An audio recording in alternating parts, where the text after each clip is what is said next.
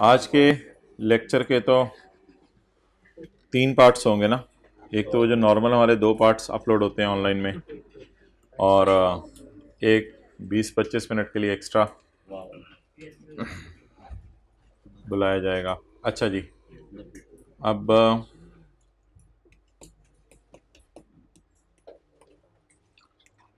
ये ऑनलाइन वाले हजरात को गवाह बनाकर इनको मोबाइल में वापस कर रहा हूँ। कैसा गुजरा दिन? सच्ची सच्ची बताना। बेहतरीन? नहीं मैंने पहले से तो नहीं कुछ बताया हुआ आपको। थोड़ा थोड़ा फील हो रहा था कुछ? फिर उसको कैसे कवर अप करते थे? लैपटॉप से।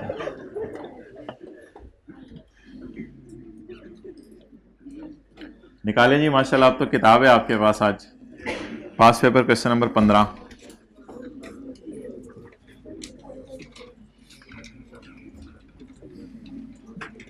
भाई, वो ग्रुप्स में भी मैसेज करवा दो किताब का। वैसे तो वो ज़्यादा बच्चे तेज़ हैं, उनको हमारे से पहले पता चल जाता है। और ये भी पता करवा दो कि किस किस शहर में कब कब अवेलेबल होगी। ये भी ज़रा करके ना एक पोस्ट बनवा दो।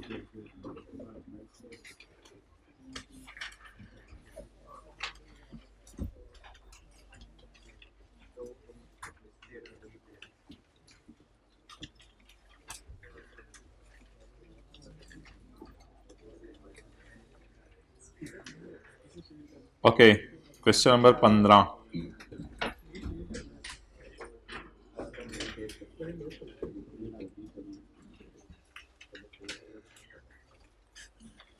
अच्छा try to understand the difference between cost and net realisable value बातें बाद में कर लेना यार.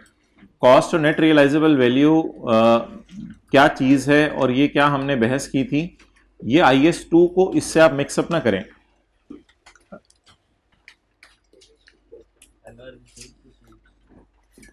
अगर आप प्लांट बना रहे हैं, कोई प्लांट बना रहे हैं तो प्लांट के बनाने के लिए आपने प्लांट से कोई सैंपल प्रोड्यूस किया आप प्लांट बना रहे हैं, आपने प्लांट बनाने के लिए कोई सैंपल प्रोड्यूस किए कि प्लांट से मैंने जो है वो कोई चीज़ बनानी है। मिसाल के तौर पे प्लांट से दवाइयाँ बनानी है तो आपने सैंपल के तौर पे दवाइयाँ बनाई। तो अगर आपने सैंपल के तौर पे दवाइयाँ बनाई तो वो दवाइयाँ आपकी बनी मिसाल के तौर पे चालीस रुपए की। और आपने इनको बाज़ार में सेल कर दिया पंद्रह रुपए का, क्योंकि सैंपल था, तजर्बा हो रहा था भी लोगों पे ज़िंदा रहते हैं या मरते हैं तो पंद्रह रुपए की आपने बेच दी। तो मैंने ये कहा था आपको कि आप एक प्लांट बना रहे हैं, प्लांट बनाने में जो सैंपल आपने बनाए, उस सैंपल को आपने एसेट की कॉस्ट में डालना है। यानी चालीस का आपका आउटफ्लो हुआ, पंद्रह का आपका इनफ्लो हुआ तो इस कितने रुपए को पच्चीस रुपए को अपने एसेट की कॉस्ट में ऐड करना है। सिमिलरली आप कोई इनटेंजेबल बना रहे हैं, आप कोई फॉर्मूला बना रहे हैं, आप कोई डिज़ाइन बना रहे हैं तो उस फॉर्मूले की बेस पर आपने सैंपल के तौर पे कुछ बोतलें बनाई। तो जो सैंपल के तौर पे बोतलें बनाई, वो चालीस रुपए की बनी और वो सैंपल के तौर पे बोतलें बिकी पंद्रह रुपए की। सैंपल के नाम से बिकी, ये वो इन्वेंट्री नहीं है जो आई एस टू वाली है। या फॉर सेल नहीं है ये इन्वेंट्री ये आपने सिर्फ़ सैंपल बेचे, सस्ते दामों। तो सैंपल की कॉस्ट से मुराद क्या है कि सैंपल बनाने में कितना खर्चा आया? और सैंपल की सेल से क्या मुराद है? सैंपल बना के कितने बेच के पैसे आए? इसको आई एस टू डील नहीं करता। ये जो सैंपल बन रहे हैं इन सैंपल्स को आई एस सोलह या I S thirty eight deal करेगा। और ये कहेगा कि जितना भी नेट खर्चा हुआ नेट खर्चा 25 that will be a part of cost of asset इसको एसेट के कॉस्ट का पार्ट बनाया जाएगा। Okay okay.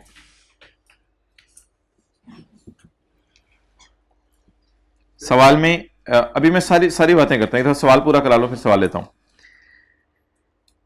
ये जो ऊपर वाले खर्चे हैं, इनके अलावा डीएल हैज़ आल्सो इनका directly attributable salaries and overheads of 5 million and 1.5 million salaries क्या होंगी? वो जो व्हाइट कोट वाले बंदे हैं, उनकी तनख्वाहें, और ओवरहेड्स क्या होंगे? वहाँ पे जो बिजली इस्तेमाल हो रही है और बाकी चीज़ें इस्तेमाल हो रही हैं, या कोई लैब की बिल्डिंग का किराया, जो भी चीज़ें हैं। सैलरीज और ओवरहेड्स उन्होंने इनकर किए पाँच और डेढ़ मिलियन के रिस्पेक्टिवली इन ईच मंथ हर महीने। तो ये पर मंथ अमाउंट है या टोटल अमाउंट है? इसको किसी से डिवाइड नहीं करना आपने।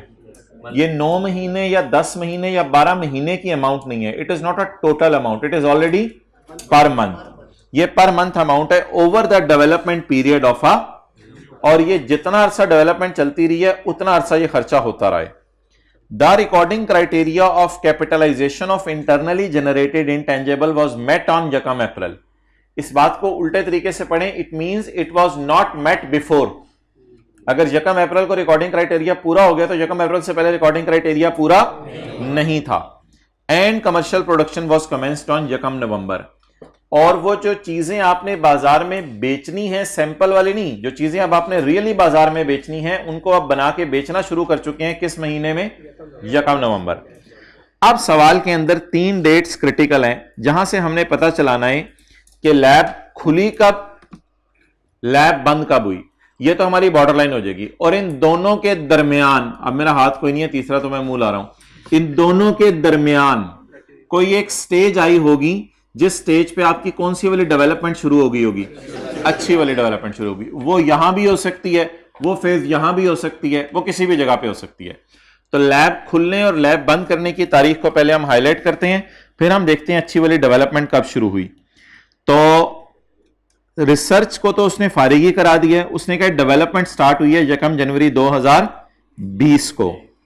और कमर्शियल प्रोडक्शन प्रोडक्ट की शुरू हो गई है। प्रोडक्ट की कमर्शियल प्रोडक्शन फैक्ट्री में शुरू होगी।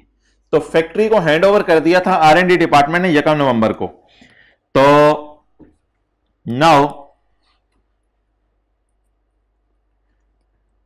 डेवलपमेंट स्टार्ट कब हुई? डेवलपमेंट स्टार्ट हुई, ये की डेट्स हैं सवाल में इंपॉर्टेंट यकम जनवरी 20 को।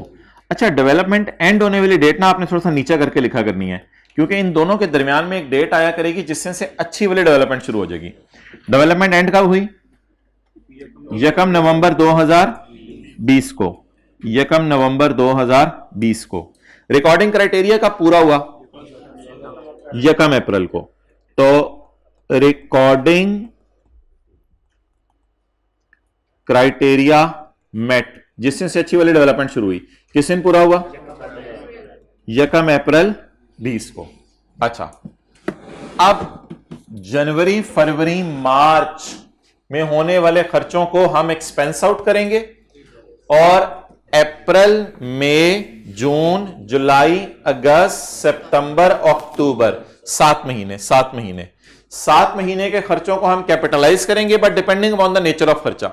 अन्य व खर्चों को कैपिटलाइज नहीं करेंगे, कि एडवर्टाइजमेंट भी कैपिटलाइज की हो स्टाफ ट्रेनिंग भी कैपिटलाइज की हो। ठीक है? एडवर्टाइजमेंट और स्टाफ ट्रेनिंग कभी कैपिटलाइज नहीं होती। तो जनवरी, फरवरी, मार्च के खर्चों को एक्सपेंस में डालेंगे और अप्रैल, मई, जून, जुलाई, अगस्त, सितंबर, अक्टूबर, सात महीने। सात महीने के खर्चों को क्या करेंगे? कैपिटलाइज करेंगे। अब जरा देखते हैं कि ये जो खर्चे हैं, ये खर्चे तीन जमा सात, दस महीने के हैं या हर महीने का खर्चा अलग अलग दे रहा है? जल्दी बताएँ। हर महीने का खर्चा अलग अलग दे रहा है। आप बताएँ, जनवरी के अंदर क्या चली? रिसर्च चली। अब बता दें, इसको मैंने क्या करना है? Expense out February, March. फरवरी मार्च। ये सवाल ज़्यादा अच्छा है। हर महीने का खर्चा अलग अलग बता रहा फरवरी, मार्च में क्या चली? डेवलपमेंट फरवरी, मार्च में क्या चली? लेकिन फरवरी, मार्च में रिकॉर्डिंग क्राइटेरिया पूरा इसको आप वर्किंग में लिख सकते हैं पेपर में शुरू में कि इस दिन ये हुआ, इस दिन ये हुआ। अच्छा फरवरी, मार्च में डेवलपमेंट क्राइटेरिया पूरा इसलिए इसको भी कहाँ डाल दें? एक्सपेंस में। अप्रैल, मई, जून, जुलाई। क्या बना? Pilot plant. पायलट प्लांट किन एक्टिविटीज़ में फॉल करता है? डेवलपमेंट में। अप्रैल, मई, जून, जुलाई। ओ लकीली ये अप्रैल, मई, जून, जुलाई ही सारा हमारा रेलिवेंट है। और अगर ये यकम मई को हुआ होता तो फिर ऐसी सूरत में ये खर्चा चार महीने का होता। इस 40 को हम चार से डिवाइड करते और फिर अगर यकम मे को रिकॉर्डिंग क्राइटेरिया मीट हुआ होता तो फिर तीन महीने से मल्टीप्लाई कर दे। लेकिन now we are very lucky कि पायलट प्लांट की सारी की सारी phase already fall under the good development dates why this forty will be capitalised इसके बाद रजिस्टर कराने की जो फ़ीस है, वो भी कैपिटलाइज होगी। अच्छा सैंपल बनाए, अगस्त, सितंबर, अक्टूबर में सैंपल बनाए। थोड़ी सी अपनी विजन ब्रॉड करें चीज़ों का। इसका मतलब है, हमें पता चला कि सैंपल भी लैब के अंदर बंदों को रख के ही हम बनवा रहे हैं कि यार तुम ये सैंपल बनाओ चीज़ों के। तो अगस्त, सितंबर, अक्टूबर में सैंपल बनाए। क्या ये इन्वेंट्री है या सैंपल हैं? सैंपल हैं तो ये नहीं कहना कि ये इनकी कॉस्ट है और ये इनकी एनआरवी है, दोनों में से लोअर उठा लूँ। I S two will not deal it. Development अभी चल रही है। अगर डेवलपमेंट चल रही है तो आई एस टू डील करते हैं। फैक्ट्री में जो यूनिट्स बने हैं उनसे, ये तो अभी क्या चल रही है? डेवलपमेंट। तो डेवलपमेंट फ़ेज़ में सैंपल बनाए। सैंपल बनाकर कितने पैसे खर्च किए सैंपल बनाने पे कितने पैसे खर्च किए? Expenditures have been incurred sample बनाने पर कितने पैसे खर्च किए? बत्तीस। असल में लिखा होना चाहिए था सैंपल की सेल वैल्यू या रियलाइजेबल वैल्यू अब सैंपल सस्ते दामों बिकेगा, इसकी रियलाइजेबल वैल्यू 20 है। लेकिन नेट का लफ्ज उसने इसलिए लिखा है कि ऐसा हो सकता है सैंपल इक्कीस रुपए के बिके और एक रुपए कोई बेचने का खर्चा आ जाए सेलिंग कॉस्ट एडवर्टाइजमेंट कॉस्ट या कोई इस किस्म का खर्चा हो कॉस्ट टू सेल जिसे आप कहते हैं। इसलिए उसने लिखा, वरना ये वो सेल प्राइस है जिसको थोड़ी देर पहले हमने डिस्कस किया था। तो सैंपल बनाने पर खर्चा कितना आया एक्सपेंडिचर हैव बीन इनकर्ड कितना? बत्तीस। और सैंपल के अगेंस्ट रियलाइज़ कितना होगा? तो सैंपल बनाने पर हमने बत्तीस का खर्चा किया। शुक्र है कुछ थोड़ा बहुत बीस रुपए रिकवर हो गया। तो नेट कितने रुपए बचे? बारह रुपए। इस बारह रुपए को हम एसेट की कॉस्ट में क्या कर देंगे? ऐड कर देंगे। ये अच्छी वाली डेवलपमेंट फ़ेज़ ही चल रही है अभी। अच्छा उसके बाद अक्टूबर, नवंबर, दिसंबर के महीने में ब्रांड बिल्डिंग कॉस्ट हुई। ब्रांड खुद बनाना इंटेंजेबल तो है ही नहीं। इसलिए इस बहस से बाहर निकल जाएँ कि ये अच्छी वाली डेवलपमेंट फ़ेज़ है, बुरी वाली डेवलपमेंट फ़ेज़ है। ब्रांड बिल्डिंग तो साल हा साल चलती रहती है और अगर आप अपना ब्रांड बिल्ड कर रहे हैं बिल्डिंग का मतलब ही अपना ब्रांड बिल्ड कर रहे हैं तो वो हमेशा क्या होगा? एक्सपेंस आउट अनलेस के ब्रांड क्या कर लें? पर चेज कर लें। लेकिन ये सारा डेटा देखने के बाद हम बड़े हैरान हुए। हमने कहा, प्रोटोटाइप्स बन रहे हैं, पायलट प्लांट बन रहे है, फ़ीस है, रजिस्टर होने की, साइंसदानों की तनख्वाहें कहाँ गई? इसका मतलब है, तुम लोग सिर्फ़ मटेरियल ही बना रहे हो प्लांट ही बना रहे हो फ़ीस पे कर रहे हो रजिस्टर कराने की सैंपल बना रहे हो तो साइंसदानों को कोई तनख्वाह नहीं दे रहे। तुम्हारा कौन सा प्रोजेक्ट है जो रोबोट से चल रहा है? उन्होंने कहा रोबोट से नहीं चल रहा, वो हम मानते हैं। अब वो लैब के अंदर कुछ और खर्चे बच गए थे, वो उसने कहा, वो जरा मैं बताता हूँ। डीएल हैज़ ऑल्सो इसका मतलब है ये तो हुए ही हुए। इसका मतलब है ये वाले फिगर्स ऊपर इंक्लूड नहीं है।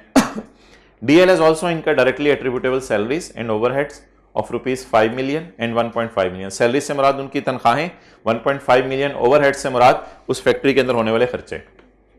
In each month over the development period of new product ये खर्चे दस महीने हुए हैं। ये खर्चे दस महीने हुए हैं। In each month over the development period it is development period हर महीने यह खर्चा हुआ है और दस महीने तक यह खर्चा होता रहा है। The development period is this one हाँ एक बात मैं थोड़ी सी मानता हूँ, सवाल में गलतियाँ ना निकालने, बैठ जाइएगा। जनवरी में रिसर्च चलती रही है, लेकिन उसने जब सवाल शुरू किया तो उसने डेवलपमेंट का इनाम दे दिया है। इसलिए कोई सवाल में गलती ना निकालिएगा। ये रिसर्च क्यों तुमने लिखी हुई यहाँ पे? तो डेवलपमेंट फ़ेज़ के अंदर आपकी पर मंथ की फिगर्स गिवन है। अब वन बाय वन चलते हैं और देखते हैं क्या किन किन चीज़ों को हमने कैपिटलाइज करना है। तो सबसे पहले, जब हम कॉस्ट निकालने के साइड पे आएँगे तो कॉस्ट किसकी है जी? पायलट प्लांट की? कितनी?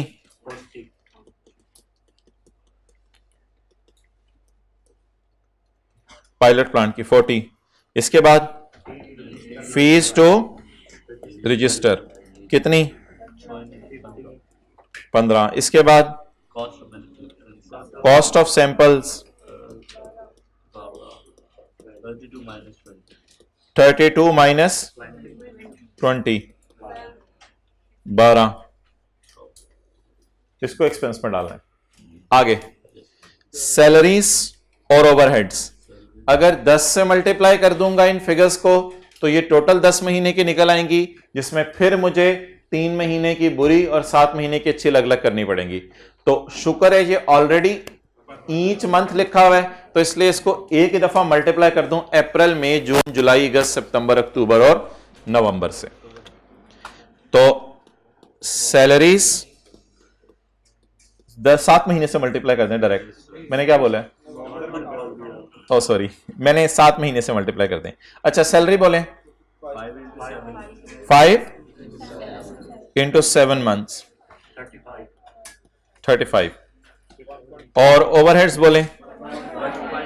1.5 इंटू सेवन मंथ्स जिन लोगों के पास किताब नहीं है, वो तस्वीर खींच लीजिएगा। अब तो आज फिर सारी डिस्कशन ही। जी, जवाब? 10.5 one one two point five कितने लोगों ने यही कल घर में निकाली थी? ओके गुड हाइब्रिड वाले जरा हाथ खड़ा करके बताएँ। ओके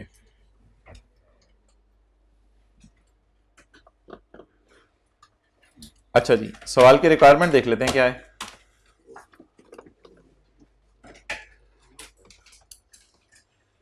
भाई, आप भी आ जाए हो पहले दिन? आप आखिर में जो बैठे हो। आ जाए हो पहले दिन। किधर है पिछले दिनों में? क्या? क्या करना था घर में? तो दो दिन बाद घर वाले भी पूछना बंद कर देते हैं। दो दिन ही प्रोटोकॉल वाला खाना मिलता है ना, उसके बाद तो बस नॉर्मल ज़रूरी काम था। फिर वैसे ही। Compute the cost of new product initial measurement initial measurement होती है, जिस वक्त आपने असर खरीदा। Also discuss the reasons for ignoring any of the above expenditure in your computation चलें जी रीजंस लिखना शुरू करें। किस किस को इग्नोर किया है? इग्नोर जो किया उनको स्काई ब्लू में हाईलाइट करवा दें। इग्नोर किया है इसको हमने दो को?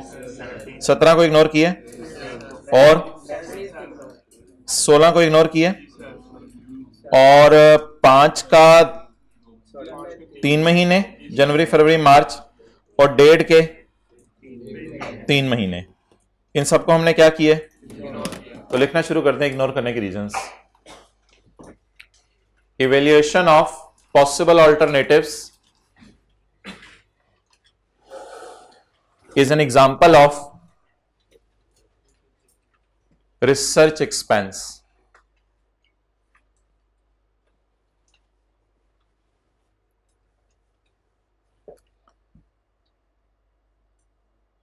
बाकी फ़िक्र सवाल से उठा लें।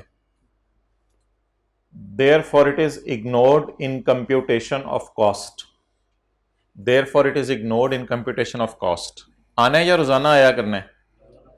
तजर्बा ना करें सीए के साथ। प्लीज़ आई कैप पे तजर्बे ना करें। अच्छा आगे चलें। नेक्स्ट दो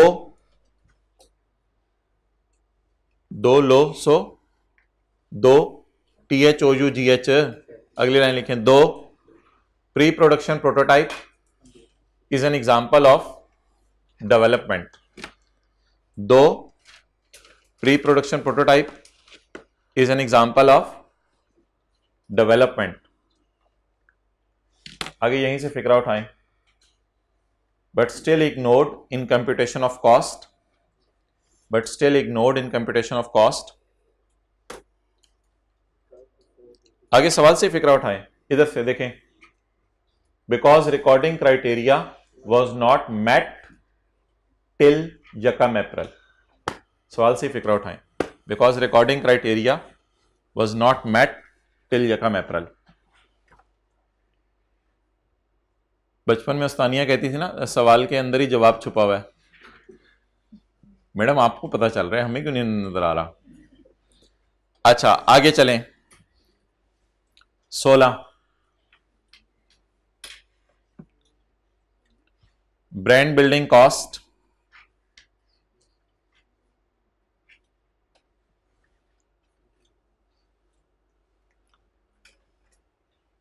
is an internally generated brand so it is not capitalized yeah so it is not uh, it is ignored in computation of cost brand building cost क्या लिखवाया था? Is an internally generated brand, therefore, it is ignored in the computation of cost.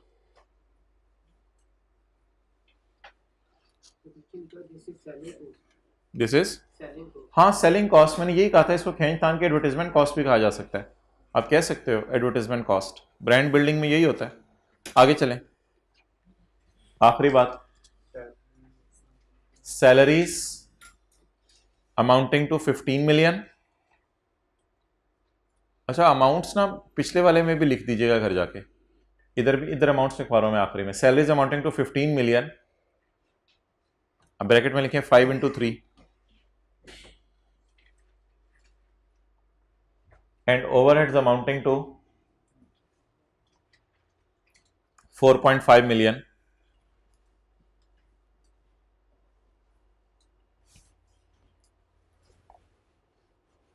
One point five into three are incurred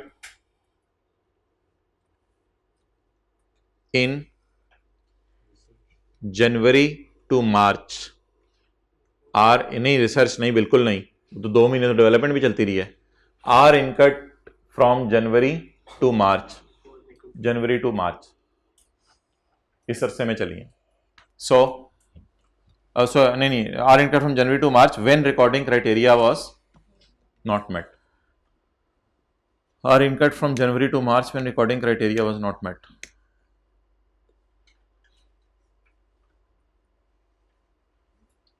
आगे फिर वही लिखते हैं therefore these are ignored in computation of cost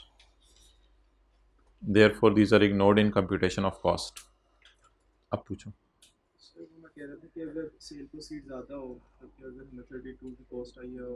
negative minus कर दो। Minus कर दो sir directly okay मतलब कि अगर शुरू से रिसर्च में भी आ रहे हैं तो डायरेक्टली एट्रीब्यूटेबल तो है ना कॉस्ट पे। हाँ बट जब तक रिसर्च चलेगी और बुरी वाली डेवलपमेंट तब तक एक्सपेंस ही होता रहेगा। क्या चीज़?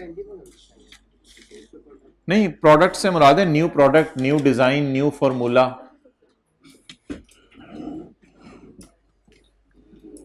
okay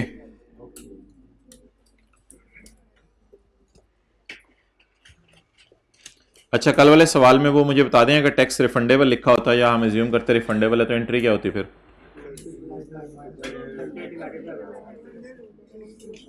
ये मोहतरमा अब इसकी एंट्री फिर ऐसे बनती। अब मैं पेज 247 पे लिख रहा हूँ। If I assume sales taxes refundable if I assume sales tax refundable तो मैं कैसे कॉस्ट निकालता? नए सॉफ्टवेयर की। 115 में 15 परसेंट सेल्स टैक्स पड़ा है। इसका तरीका ये नहीं होता कि इसमें सेल्स टैक्स में 15 परसेंट करके निकालूं। इस पे 15 परसेंट लगाकर सेल्स टैक्स ही निकलेगा। इसमें 15 परसेंट सेल्स टैक्स पड़ा है। यानी ये ऑलरेडी इन्फ्लेटेड फिगर है। ये 115 परसेंट पर पड़ी है। It inclusive of sales tax it include sales tax ये 115 परसेंट पर पड़ी है।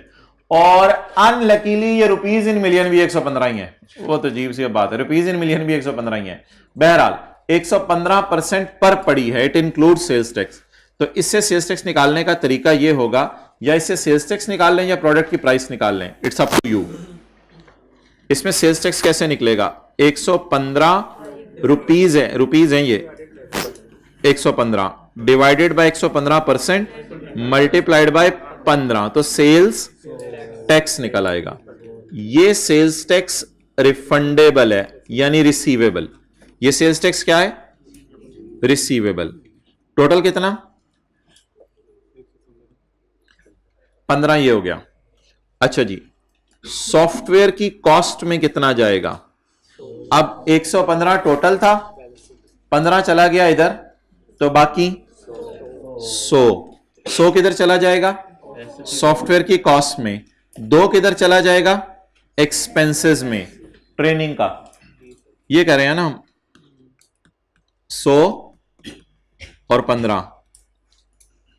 सो को क्या अगर एज्यूम करो रिफंडेबल है, सो का क्या बुक करेंगे? कैपिटलाइज करेंगे सो को। पाँच रुपए को। कैपिटलाइज दो रुपए को। और इसका रिसीवेबल बुक करेंगे करंट एसेट्स के अंदर। चलें जी, सो में क्या डाल दूँ? दो। दो या पाँच? पाँच रुपए। कितना हो गया? एक सौ पाँच। और ट्रेनिंग को कहाँ डालूं? एक्सपेंस में। कितने होगी? दो। ये किसी को पता डबल एंट्री बन रही है। डेबिट साइड पूरी हो गई है। अच्छा अब credit cash one double two, ये डबल एंट्री पूरी होगी। तो अब इंटेंजेबल के नोट में कितनी कॉस्ट जाती? वन ज़ीरो फाइव लेकिन कल हम कितनी लेके गए थे? वजह? हमने एज्यूम किया था सेल्स टैक्स क्या है? आज क्या एज्यूम कर रहे हैं? रिफंडेबल है।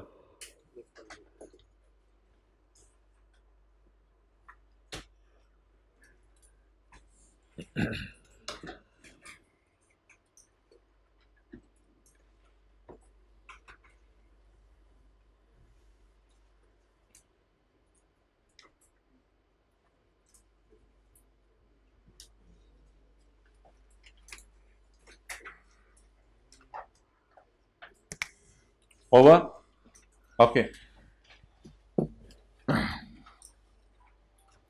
अच्छा जी आज हमने अब दो कॉन्सेप्ट्स करने हैं। बल्कि तीन। एक हम करेंगे exchange of assets F R one वाला। एक हम करेंगे गवर्नमेंट ग्रांट और तीसरी चीज़ हम करेंगे अमोटाइजेशन और इम्पेयरमेंट की डिस्कशन तो लेट स्टार्ट शुरू में आ जाएँ। किताब ले ली हुई आप लोगों ने। गवर्नमेंट ग्रांट निकालें। Page six zero five two zero five page two zero five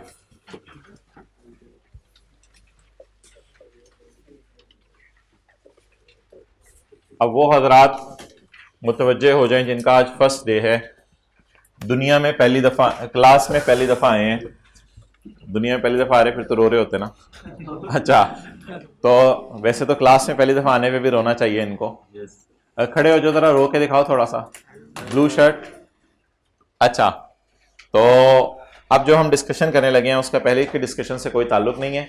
इसलिए बड़े रिलैक्स होके साथ वाले की तरह कंधे चौड़े करके बैठ जाएँ। अच्छा अब फाइव फोर वेटेड एवरेज क्या है? फाइव फोर वेटेड एवरेज क्या है? आई एस एट पढ़ा हुआ एफ़ आर वन में। ये क्या है five four weighted average accounting policy है। अकाउंटिंग। हमारे पास चॉइस होती है। क्या चॉइस होती है? चाहे हम फाइफो यूज़ कर लें, चाहे वेटेड एवरेज यूज़ कर लें। और बताएँ, और और कौन सी कहा चॉइस अवेलेबल है हमें? और कहा चॉइस अवेलेबल है? स्ट्रेट लाइन मेथड और डब्ल्यू डी मेथड में हमें चॉइस अवेलेबल है। ये आपने ब्लेंडर मारा है। बिल्कुल चॉइस अवेलेबल नहीं है। आपने देखना होता है कि एसेट ने अगर बराबर बेनिफिट देना है तो आप मस्ट स्ट्रेट लाइन यूज़ करें। और अगर एसेट ने डिमिनिशिंग पैटर्न पे फ़ायदा देना है तो आप must W DV method use करें। मैं कह रहा हूँ कि चॉइस कहाँ अवेलेबल है? चॉइस कहाँ? आई एस फोर्टी में चॉइस अवेलेबल है। क्या अवेलेबल है? या कॉस्ट मॉडल पे रखें या फेयर वैल्यू मॉडल पे रखें। इस तरह आई एस सोलह में भी चॉइस अवेलेबल है। या कॉस्ट पे रखें या रिवेल्यूएशन मॉडल पे रखें। तो अकाउंटिंग पॉलिसीज़ में हमें क्या अवेलेबल होती है? चॉइस अवेलेबल होती है कि पॉलिसी में चॉइस अवेलेबल है। फाइफो या वेटेड एवरेज पॉलिसी है। दोनों में से जो मर्ज़ी चला लें। लेकिन एक दफ़ा चूज़ कर ली तो उसको कैसे अप्लाई करना है? कंसिस्टेंटली अप्लाई करना है। देखें, साथ वाला सही बोल रहा है कंसिस्टेंटली तो कंसिस्टेंटली किसको अप्लाई किया जाता है? अकाउंटिंग पॉलिसीज़ को। अच्छा इनटेंजेबल्स की गवर्नमेंट ग्रांट के लिए आपके पास दो पॉलिसीज़ अवेलेबल हैं। Intangible asset. Government grant. Record at fair value. हुकूमत ने आपको तोहफे में इंटेंजेबल दिया, इसको फेयर वैल्यू पर रिकॉर्ड कर लें। या record at nominal amount record at nominal amount paid जो आपने नॉमिनल अमाउंट पे किया, आप उस पर रिकॉर्ड कर लें। ये दोनों चॉइसेस आपके पास अवेलेबल है। Okay let's do an example first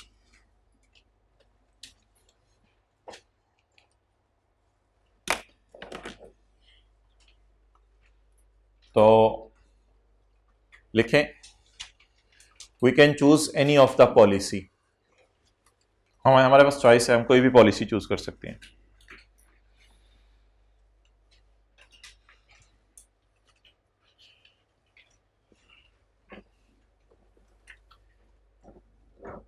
अच्छा अगर न्यूमेरिकल आ जाए इसका गवर्नमेंट ग्रांट का तो फिर तो दोनों में से कोई एक ऑप्शन लेके उसी तरह सॉल्व कर देंगे हम।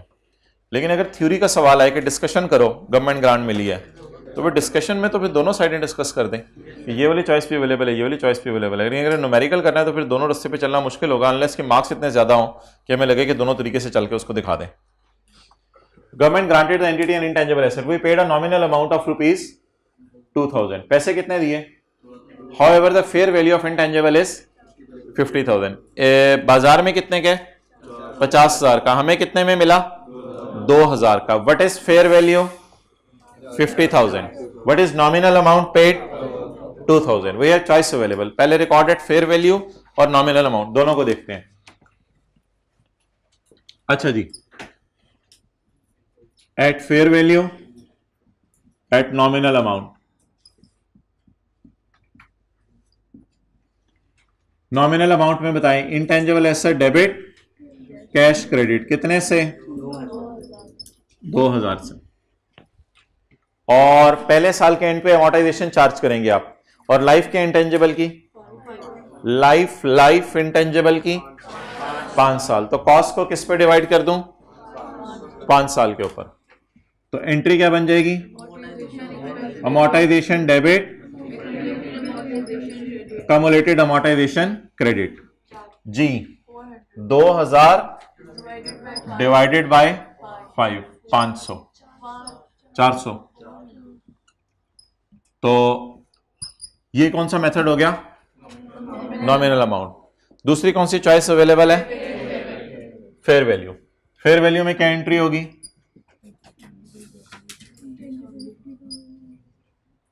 और कैश कितने से cash two thousand cash two thousand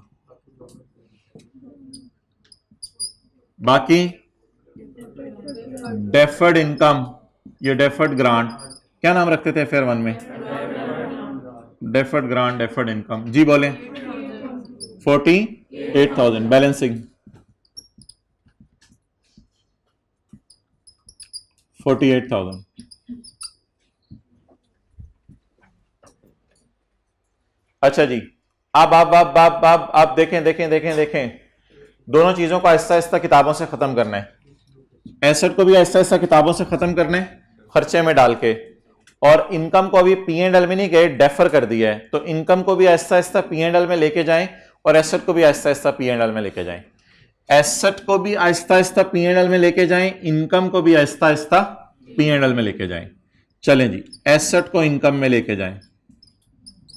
Amortization debit, accumulated amortization, पचास हज़ार डिवाइडेड बाय पाँच, दस हज़ार।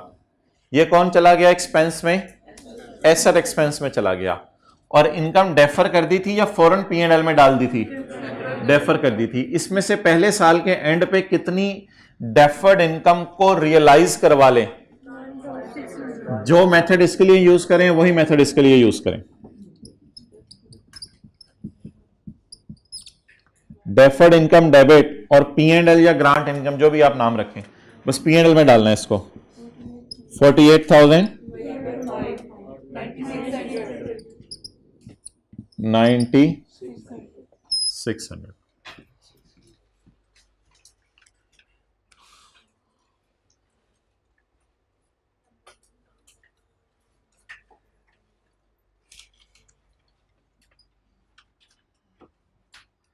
how profit will differ in both methods? Profit में, वो जो प्रॉफिट होता है टोटल बिज़नेस का, उस पर क्या फ़र्क पड़ेगा दोनों मेथड्स फॉलो करने से? नो इफ़ेक्ट प्रॉफिट पे कोई इफ़ेक्ट नहीं पड़ेगा। इसलिए कि हमने इधर खर्चा बुक किया है 400 इधर खर्चा बुक किया है टेन थाउज़ेंड और इनकम बुक की है नाइन्टी टेन थाउज़ेंड में से जब आप नाइन्टी सिक्स हंड्रेड माइनस करेंगे तो चार सौ रुपए बच जाएँगे, खर्चे में जा रहे हैं। इधर ओवरऑल प्रॉफिट पे इंपैक्ट नहीं है, लेकिन लाइन आइटम्स तो चेंज होंगे। लेकिन ओवरऑल प्रॉफिट पे कोई इंपैक्ट नहीं होगा इसका। जो मर्ज़ी मेथड फॉलो कर लें P and L will remain the same but line items में अमोटाइजेशन डिफरेंट अमाउंट्स पे नज़र आएगी। जल्दी कर लें और फिर जो वो अंग्रेज़ी लिखी हुई है, वो भी पढ़ लें। पेज 205 पे जो एग्जांपल के ऊपर अंग्रेज़ी है।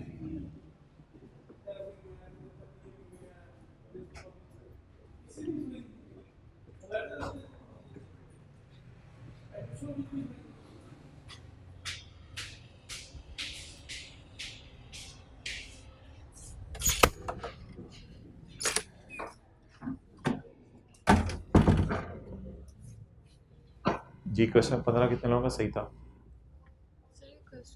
हाँ पूछो।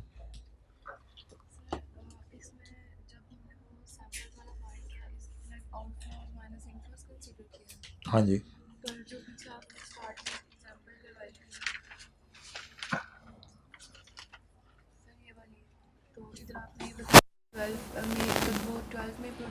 वही किया था थर्टी माइनस ट्वेल्व सर अगर सैंपल्स 12 में प्रोड्यूस हुए हैं और 12 में सोडे को नेट इफ़ेक्ट नहीं नहीं नहीं। ये प्रोड्यूस होने की ये कॉस्ट है। टेस्टिंग कॉस्ट ये प्रोड्यूस होने की कॉस्ट है। इसको फिर आप खाली इस तरह लिखें। सैंपल सोल्ड ये।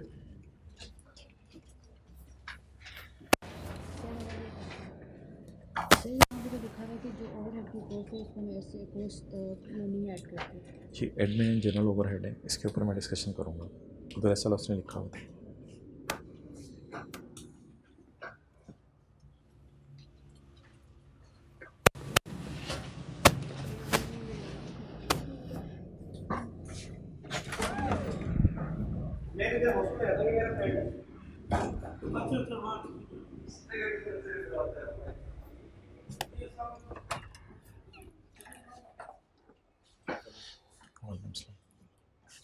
भाई, पुरानी किताब तो ले रहे हैं, फिर देख रहे हैं इंटरेस्ट किस तरह ही नहीं है। ज़रा आप खरीद लो बुक रिकॉर्ड तोड़ दो आज।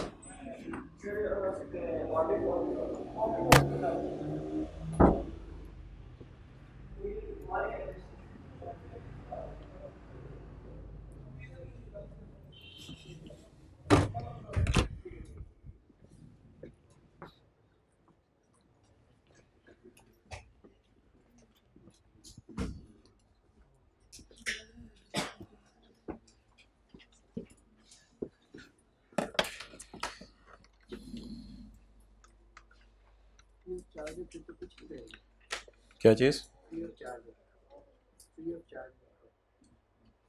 हाँ ज़ीरो पे रिकॉर्ड होगा। गवर्नमेंट ट्रांसफर्स और allocates intangible asset such as airport landing rights licenses to operate radio और television station import licenses import करने का कोटा इजाज़त नामा rights to access other resources an intangible may be acquired free of charge और for nominal consideration by way of government grant I S twenty allows the intangible assets and the grant to be recorded at fair value initially or at a nominal amount plus any expenditure that is directly attributable to preparing the asset. Nominal amount में कोई चीज़ plus भी करनी पड़ सकती है that is directly attributable हो सकता है कोई आप इंटेंजेबल आपको मिले उसकी फेयर वैल्यू हो पचास हज़ार और आपको इंस्टॉल करवाने पे एक हज़ार रुपये का खर्चा आ जाए तो फिर आपने पचास हज़ार रुपये में एक हज़ार फेयर वैल्यू तो होगी उसमें भी ऐड कर देने और अगर ये वाला सिनेरियो हुआ तो उसमें भी आपने ऐड कर देना है। तो ये किसी सवाल में देख लेंगे। वो तरीका नॉर्मली है कि आपने इंस्टॉलेशन और बाकी सारी चीज़ें एसेट की कॉस्ट में क्या करनी होती हैं? फ़ीस टू रजिस्टर क्या करनी होती हैं एसेट की कॉस्ट में? ऐड करनी होती हैं। ओके एक्सचेंज ऑफ़ एसेट्स आ जाए एक्सचेंज ऑफ़ एसेट्स इसी पेज पे है मेरे ख्याल से। इसी पेज पे है। ये नोट्स में तो नहीं है ना जो बांटे थे? नहीं, किताब पे है। हाँ बस ठीक है। तस्वीर खींच ले, इतने सी की अगर खींचनी है। है नोट्स में? जो नोट्स दिए हैं उनमें पेज टू ज़ीरो फाइव है। फोर है। फाइव नहीं है। अनलकीली ठीक है। इसीलिए कहा जाता है बुक ले लें। जो किसी ऐसे के पास बैठे जिसके पास बुक हो। अच्छा जी एसेट्स एक्सचेंज होते हैं।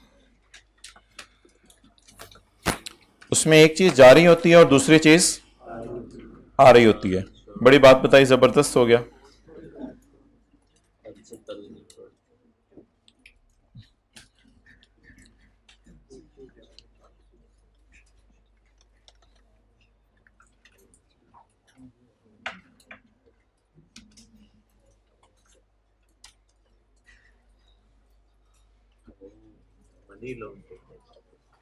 अच्छा जी। हमारे पास से पैसे जा रहे हैं और पुराना नोकिया तैतीस दस जा रहा है और नया फ़ोन हमारे पास आ रहा है। अब पुरानी जो चीज़ है, उसकी फेयर वैल्यू है 130 हमने जरा ज़्यादा रख ली गलती से। पुरानी चीज़ की फेयर वैल्यू क्या है? इसको तेरह रुपए कर देते हैं पुरानी की। पैसे इधर ज़्यादा दे देते हैं। अच्छा पुरानी चीज़ जा रही है। क्या जा रहा है? मोबाइल। हो सकता है बुक्स में इसकी कोई क्या आ रही हो? वैल्यू। एक इसकी बुक्स में वैल्यू आ रही होगी और एक इसकी किसमें वैल्यू होगी? मार्केट में वैल्यू होगी। तो जब भी पुरानी चीज़ हम बाज़ार से जो है, वो दे के नई चीज़ लेते हैं तो तीन बातें हमारे सामने होती हैं। नंबर वन पुरानी चीज़ की बाज़ार में कीमत क्या है? हमारी पुरानी चीज़ की कीमत क्या है? तेरह। और हम क्या दे रहे हैं? पैसे। तो पैसे भी हमारे पास से जा रहे हैं, पुरानी चीज़ भी जा रही है। और बदले में क्या आ रहा है? नई चीज़। अभी फिगर्स को कंपेयर करके कुछ जनरल एंट्री करने या बराबर करने के चक्कर में ना पड़े। इस चक्कर में ना पड़े। वो अलग बहस है, वो मैं बाद में करता हूँ। तो जहन में बस ले आए। जब भी मैं पुरानी चीज़ बाज़ार में लेके जाऊँगा तो मुझे पुरानी चीज़ देनी पड़ेगी। तेरह रुपए वाली मैंने चीज़ दे दी और मैंने जेब से निकाल के पैसे दे दिए और मैंने कौन सी चीज़ ले ली? नई चीज़ ले ली। It is called as exchange of assets अब पेपर के अंदर जो सनेरियोज आते हैं वो क्या आते हैं? पेपर के अंदर जो सनेरियोज आते हैं वो एक सनेरियो ये आता है कि if fair value of both assets fair value of both assets 150 120 दोनों। If fair value of both assets और fair value of only old asset is given कभी कभी पेपर में इसकी भी फेयर वैल्यू दी होगी और इसकी भी फेयर वैल्यू दी होगी। या इन दोनों की फेयर वैल्यू की बजाय सिर्फ़ जो चीज़ जा रही है, उसकी क्या दी होगी? फेयर वैल्यू ये दोनों सिनेरियोज डिफरेंट हैं, लेकिन इनका ट्रीटमेंट एक है। तो ऑप्शन वन बताएँ। पेपर में दोनों की फेयर वैल्यू दे दे, या पुराने की दे दे। हमारा गुजारा चल जाएगा। हमारा गुजारा चल जाएगा। इन दोनों सिनेरियोज में अगर आपको याद हो कॉस्ट कैसे निकलती है इन दोनों सिनेरियोज में कॉस्ट निकलती है तेरह जमा एक सौ बीस। नए की कॉस्ट इस तरह निकलती है। अब याद कर लें, पक्का पक्का। अगर पेपर में नए की फेयर वैल्यू और पुराने की फेयर वैल्यू दे दे, या पेपर में सिर्फ़ किसकी फेयर वैल्यू दे? और आपको कहे नए की क्या निकालो? कॉस्ट इन दोनों सूरतों में आपने नए की फेयर वैल्यू अगर गिवन भी हो तो कह के इग्नोर कर देनी है। और आपने 13 जमा 120 पे नया एसेट रिकॉर्ड करना है। ये ऑप्शन वन हो गई। If fair value of both is given और fair value of only old is given तो cost of new is equal to fair value of old तेरह रुपए प्लस कैश कई दफ़ा माइनस भी करना पड़ता है कैश अगर वो दूसरी चीज़ सस्ती हो। ये लाइन छोड़े। दूसरा सिनेरियो क्या हो सकता है? फेयर वैल्यू ऑफ़ ओनली यानी पेपर में एक ऐसा सवाल आया जिसमें आपको सिर्फ़ फेयर वैल्यू किसकी अवेलेबल थी? न्यू की। पुराने की फेयर वैल्यू क्यों नहीं अवेलेबल थी? क्योंकि पुराना इतना रिडंडेंट हो गया था, पुराना इतना खराब हो गया था कि वह मार्केट के अंदर जिस भी दुकान पे आप जाएँ और आप पुराने को लेके जाएँ, पुराने इसको लेके जाएँ मार्केट में किसी को कहीं, कितने का लगाओगे? वो कहते हैं, भाई, अगली दुकान पे चले जाएँ। फिर जाते हैं, कितने का लगाओगे? भाई, अगली दुकान पे चले जाएँ। भाई, अगली दुकान पे चले जाएँ। यानी पुराने की फेयर वैल्यू पता नहीं चल रही। तो ऐसा भी हो सकता है पुराने की फेयर वैल्यू आपको ना दे। तो फिर किसकी फेयर वैल्यू देगा? नए की। फिर जब आपको नए की फेयर वैल्यू देगा, फिर आपने कैश से पंगा नहीं लेना। फिर आपने कैश से पंगा नहीं लेना। फिर आपने बस नए को किस पे रिकॉर्ड कर देने? नए की फेयर वैल्यू पे। फिर आपने इस तरह सर्कल लगा के नहीं करना। फिर आपने बस नए की फेयर वैल्यू देखनी है। If fair value of only new asset is given तो cost of new asset is equal to fair value of new asset लेकिन अगर कभी मजबूरी में fair value of both assets is not given पुराने की फेयर वैल्यू भी आपको पता नहीं चल रही, क्योंकि पुराना बहुत रिडंडेंट हो चुका है। नई चीज़ आप खरीदने लगे हैं, दुकानदार कहता है, भाईजान, ये बाज़ार में नई चीज़ आई है, मैं देखता हूँ आपको कितने की लगानी है। किसी और दुकानदार से आपने जाके पूछा, ये नई चीज़? उसने कहा, भाई, मेरे पास तो है ही नहीं। फिर अगले से जाके पूछा, उसने कहा, नई चीज़ मेरे पास तो है ही नहीं। तो नई चीज़ की भी फेयर वैल्यू सवाल में अवेलेबल नहीं है। पुरानी की भी अवेलेबल नहीं है। Here the BV will help you at this point of time the BV will help you BV of old BV of old नया तो भी खरीदा ही नहीं ना? तो here the BV will help you तो मे बी बीवी इज़ आठ मे बी बीवी इज़ दस what ever it may be तो मैं बी बी बोल रहा हूँ बिया नहीं बोल रहा। अच्छा तो फिर आठ जमा एक सौ बीस। अच्छा अब जबानी तरह याद कर लें एक दफ़ा। फिर बीवी वाली दोबारा बनाते हैं। अगर दोनों की फेयर वैल्यू गिवन है तो कॉस्ट बताएँ। एक सौ एक सौ टोटल बताएँ। वन थर्टी थ्री अगर दोनों की फेयर वैल्यू गिवन है तो फिर नए की कॉस्ट वन थर्टी थ्री दूसरी बात, अगर सिर्फ़ पुराने की फेयर वैल्यू गिवन है और नई की फेयर वैल्यू गिवन नहीं है तो 120 प्लस 13 अगर पुराने की फेयर वैल्यू अवेलेबल नहीं है तो 150 प्लस माइनस कुछ नहीं करना। और अगर दोनों मोबाइल लिफ्ट ना कराएँ तो बीवी will help you BV maybe BV is eight तो eight plus one twenty one twenty eight okay चलें जी, अब ये सवाल कर दें। कॉस्ट बता दें तीनों सिनेरियोज में।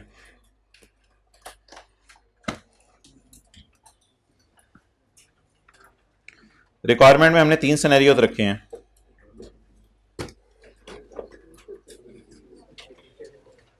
ओल्ड एसेट की कॉस्ट बताएँ। ओल्ड एसेट की कॉस्ट बताएँ। 200 ओल्ड एसेट की कम रिडक्शन 80 ओल्ड एसेट की बीवी बीवी तुम साइड पे। अभी बीवी को मत पहले सिनेरियो देखते हैं। एक एक सिनेरियो आएगा जिसमें बीवी को भी लिफ्ट करानी है। अभी बीवी साइड पे। Other information fair value of old asset is 130 fair value of new asset is cash paid is 12 अच्छा जी। अब सिनेरियो वन सिनेरियो वन अफ्तारी में ज़्यादा नहीं खाया करना। Scenario one scenario one assume करें fair value of both asset is given इसका मतलब है कि ये सारा डाटा आपके सामने फिर पेपर में अवेलेबल है। एज्यूम करें सारा डाटा आपके सामने अवेलेबल है। अब ऐसी सूरत के अंदर आप मुझे बताएँ कि नए की कॉस्ट कैसे डिटरमिन होगी। Fair value of old asset plus cash paid twelve अच्छा जी। न्यू एसेट को आप डेबिट करें।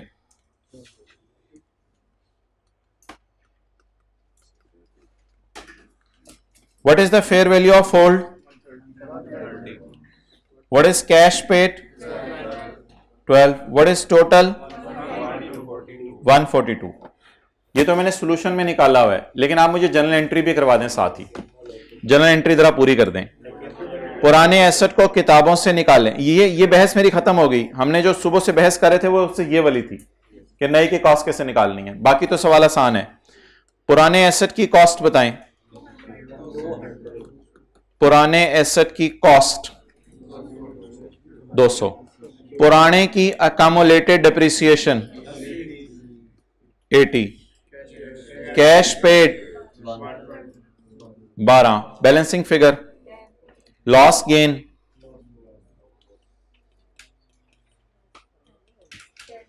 चलें जी नोट करें। पहले सिनेरियो की जनरल एंट्री क्या क्या गिवन था? पुराने की फेयर वैल्यू और नए की दोनों गिवन थी हमने किसको गले लगाया? पुराने की फेयर वैल्यू और कैश।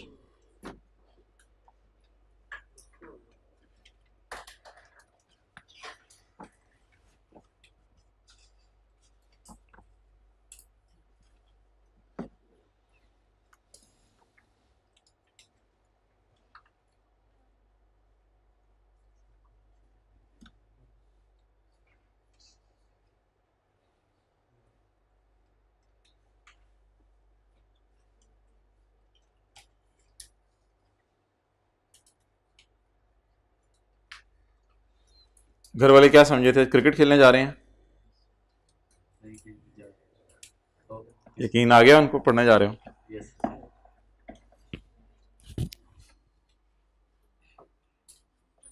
अगले की एंट्री कर दें। अगले सिनेरियो की।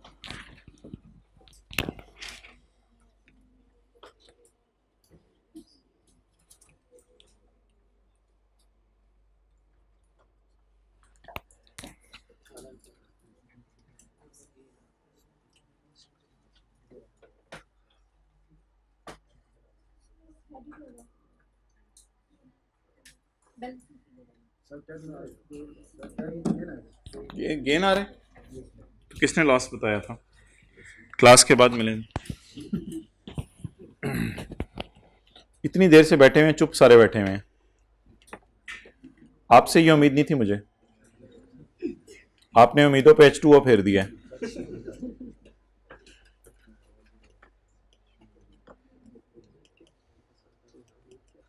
P and L balancing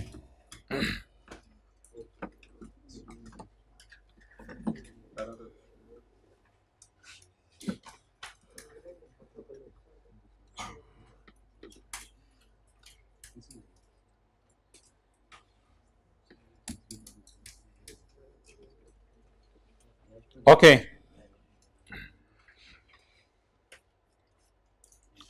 अगला scenario if fair value of only new is given अब अब एक दे, चीज़ देखें जो मैं करने लगा हूँ। इसका मतलब है कि आपको क्या गिवन नहीं है? ओल्ड की फेयर वैल्यू अब जरा सिनेरियो टू को पढ़ें। If fair value of only new is given तो व्हाट डज इट मीन कि ओल्ड की फेयर वैल्यू गिवन अब मैंने छुपाई इसलिए कि पेपर में आपको दी नहीं होगी। अब आप ये डाटा देख के बताएँ, बहालत मजबूरी किसकी फेयर वैल्यू पे गुजारा चला लें? आइडियल सरकमस्टांस ये पुराने की फेयर वैल्यू अवेलेबल हो, लेकिन नहीं है तो फिर गुजारा किस पे चला लें? नहीं की। लेकिन अब इसमें कैश वाला पंगा नहीं डालना। अब बस डेढ़ सौ को उठाएँ और डेढ़ सौ को उठा के पुत्र इधर ये 150 बस एज इट इज़ लिख दिया। पुराने की कॉस्ट पुराने की कम redemption eighty. Cash? Twelve. Eighteen. Gain? Sir gain नहीं, gain. Sir gain, sir loss, sir balance sheet, sir P and L.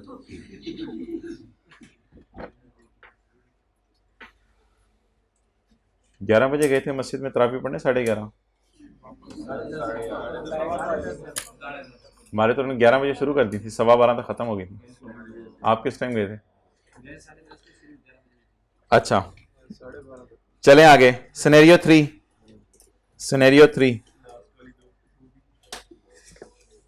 पढ़े जी। Here BV will help you इंशाल्लाह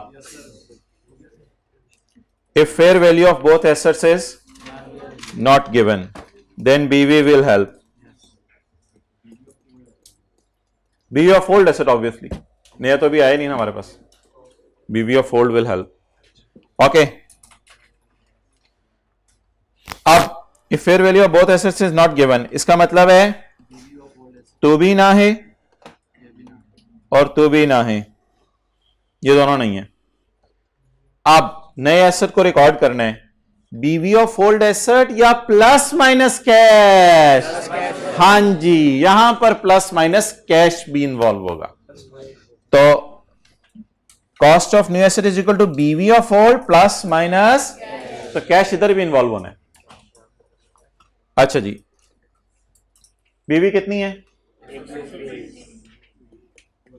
Plus cash twelve one thirty two जी, पुराने asset की cost दो सौ। Cash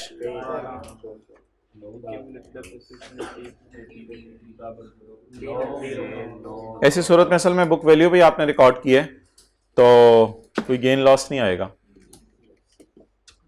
अब clip दोबारा शुरू करो अगला।